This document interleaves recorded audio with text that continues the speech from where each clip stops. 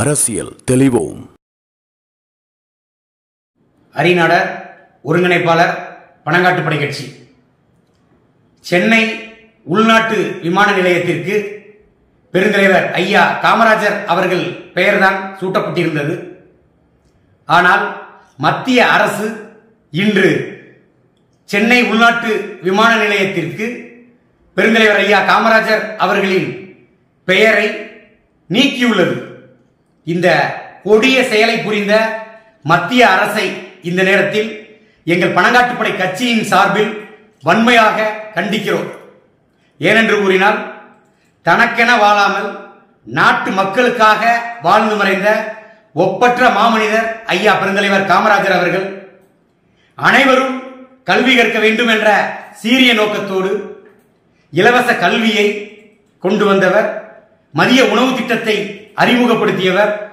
கல்வி மட்டுமல்லாமல் தான் முதலமைச்சராக இருந்த பொழுது அனைத்து மக்களும் பயன்பெறும் வகையில் பல அரிய திட்டங்களை கொண்டு வந்த மகத்தான ஒப்பற்ற மாமனிதர் ஐயா காமராஜர் அவர்கள். அப்படிப்பட்ட ஒரு மாமனிதரின் புகழை கலங்கடிக்கும் வகையில் மத்திய அரசு செயல்பட்டுள்ளது. இதை நாங்கள் ஒருபோதும் ஏற்றுக்கொள்ள முடியாது.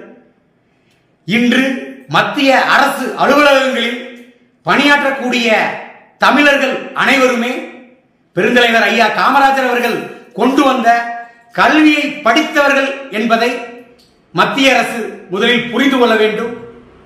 நாட்டு மக்களுக்காக வாழ்ந்து மறைந்த ஒப்பற்ற மாமனிதர் அவர் தனக்கு வந்த பாரத பிரதமர் பதவியை கூட வேண்டாம் என்று கூறி பிறருக்காக தாரை வார்த்து கொடுத்த மாமனிதர் ஐயா காமராஜர் அவர்கள் அவரின் புகழ் இந்த உலகம் உள்ளவரை நிலைத்து நிற்க மத்திய அரசும் மாநில அரசும் உறுதுணையாக இருக்க வேண்டும். அதை விடுத்து பெருந்தலைவரின் புகழை களங்கப்படுத்தும் வகையில் அவருடைய பெயர் இருந்த சென்னை உள்நாட்டு விமான நிலையத்திற்கு பெருந்தலைவரின் பெயரை நீக்கியதை ஒருபோதும் எங்கள் பணங்காட்டுப்படை கட்சியும் எங்களுடைய நாடார் சமுதாய மக்களும் ஏற்றுக்கொள்ள மாட்டார்கள் என்பதை மத்திய அரசிற்கும் மாநில அரசிற்கும் இந்த நேரத்தில் கூறிக்கொள்கிறோம்.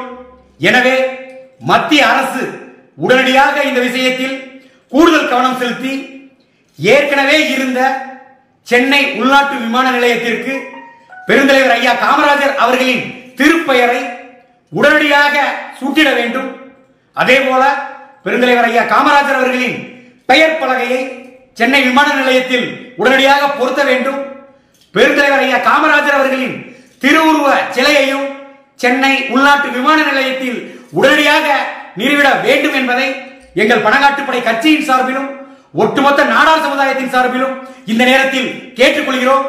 இல்லை என்றால் மிகப்பெரிய அளவில் தமிழகத்தில் உள்ள மத்திய அரசு அலுவலகங்கள் அனைத்தையுமே எங்கள் பணங்காட்டுப்படை கட்சியினர் மூடக்கூடிய ஒரு போராட்டத்தை நாங்கள் நடத்துவோம் என்பதை இந்த நேரத்தில் தெரிவித்துக் கொள்கிறேன்.